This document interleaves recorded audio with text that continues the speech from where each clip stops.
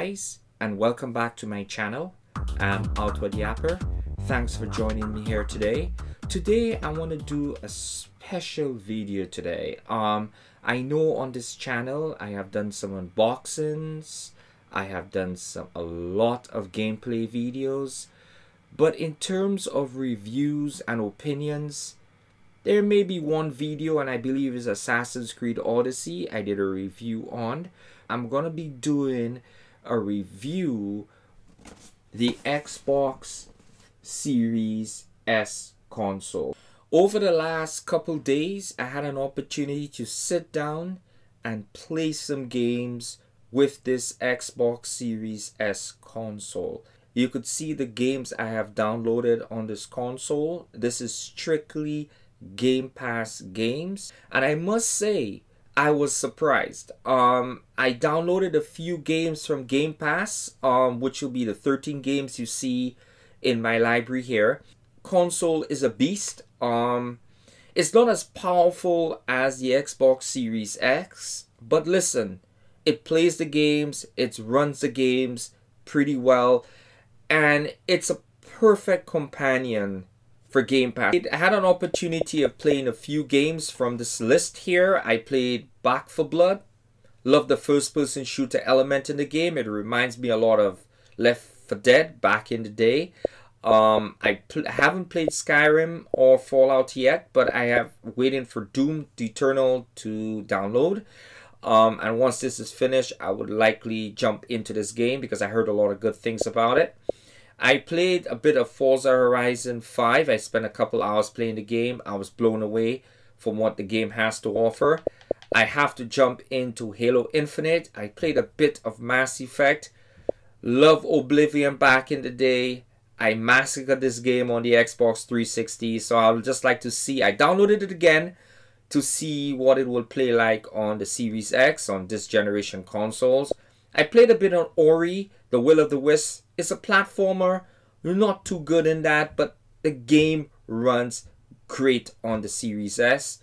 I'm enjoying this game, Outer Worlds on the Series S. I put it like over 10 hours in this game. It's been crazy. It reminds me a lot of Fallout. It reminds me a lot of Skyrim. It has that feel to it. Um, I'm loving this game. Outriders is similar to Destiny. I played maybe about 45 minutes of the game.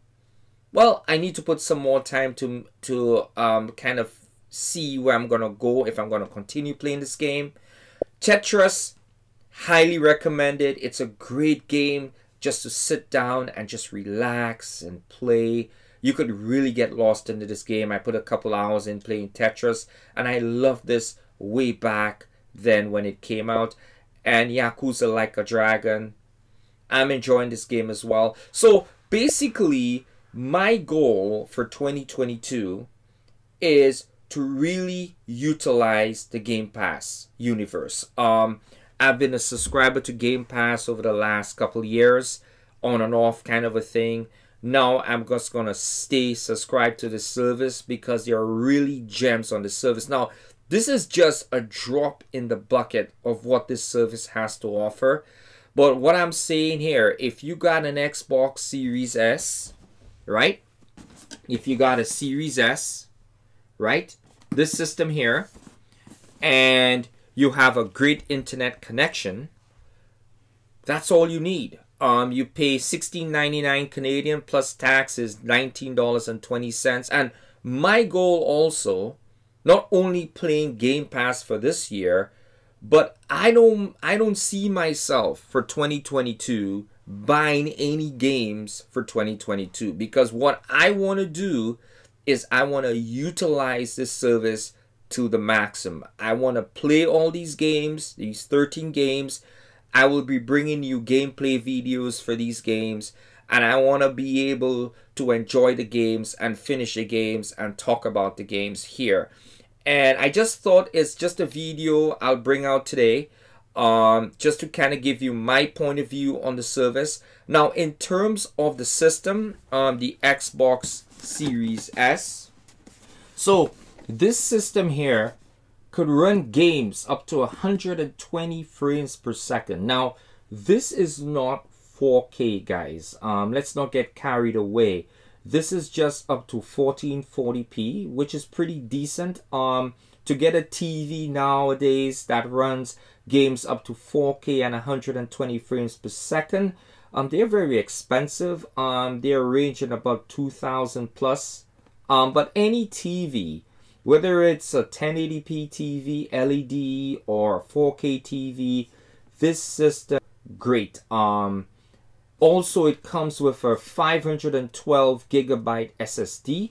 Now, I mean, it's similar to what's in the Xbox Series X. Um, this thing could load games like in a matter of seconds based on the game that you want to play. And also it has something very unique, um, which is called Quick Resume. So let me just put this down and I'll show you exactly what I mean here.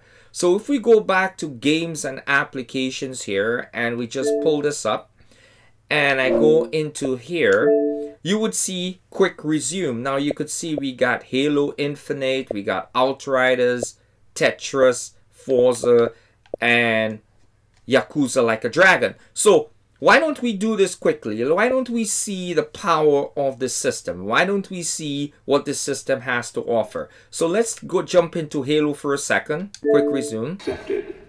So,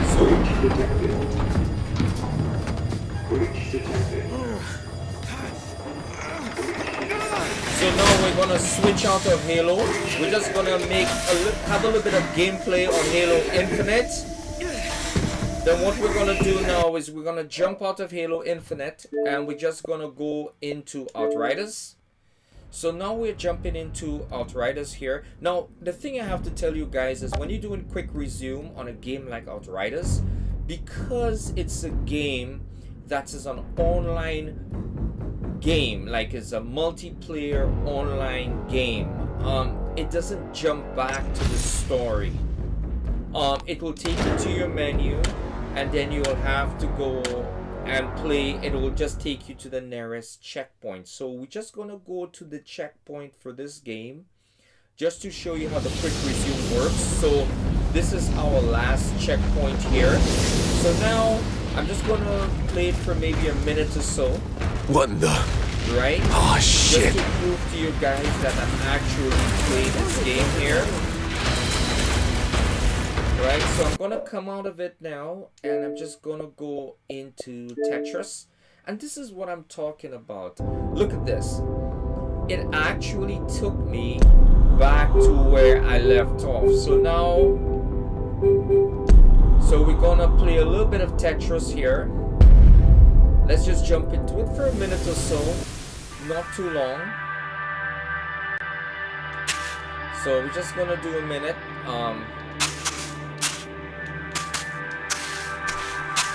So we're just gonna play a minute or so.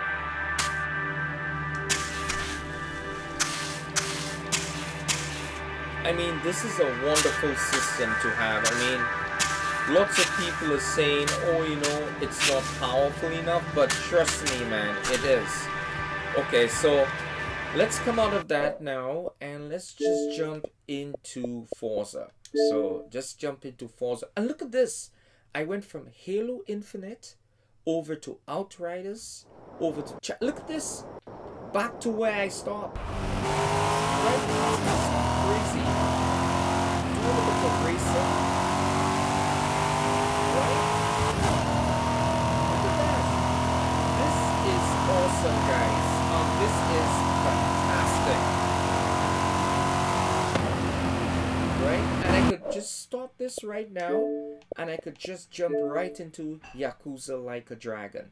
So what and I mean the maximum for the quick resume is five games. Right? So, killing me. Look at this.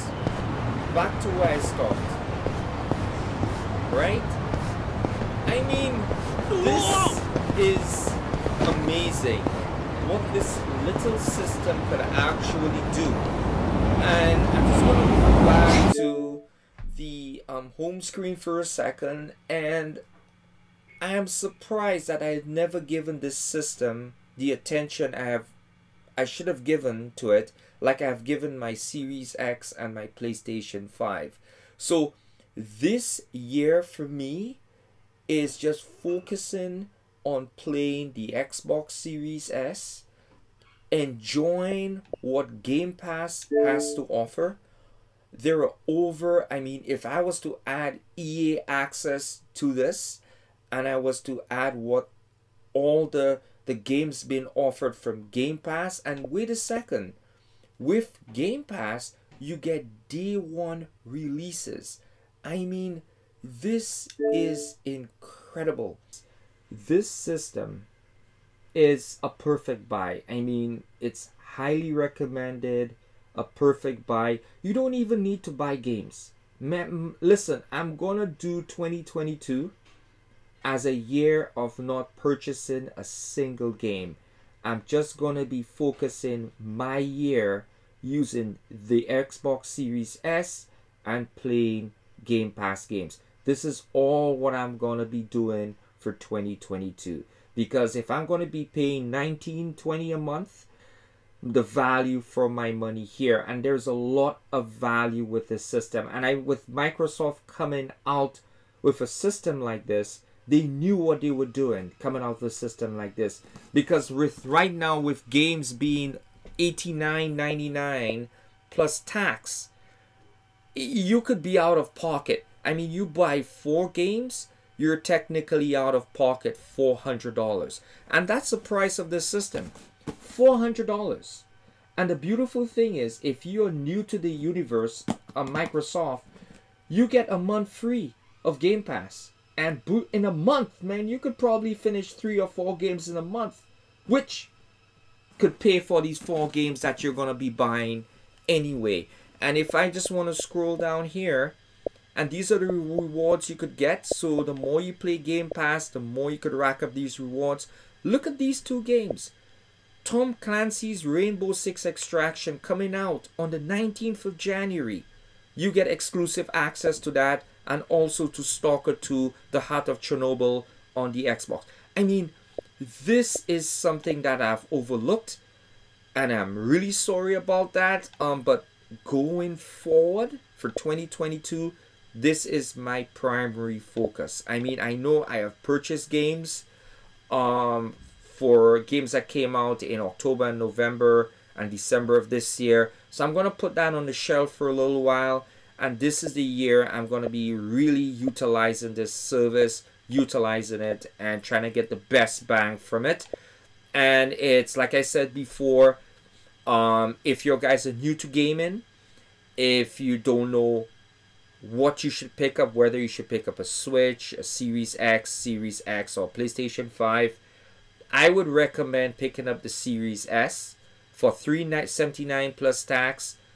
Being in a universe like Game Pass, you can't go wrong with this and knowing that the system has more horsepower than what the PlayStation 4 Pro and the Xbox C, Xbox X can offer in terms of gaming up to listen to me up to 120 frames per second also you get HDR high dynamic range and it also has variable refresh rate and variable refresh rate allows you to game up to 120 frames per second. So if your TV supports that, man, you're good to go. So let me know what your guys think in the comments. Most importantly, if your guys managed to pick up one of these systems, if your guys are playing the Xbox Series X right now, if your guys are enjoying Game Pass, let me know what games your guys are playing on Game Pass.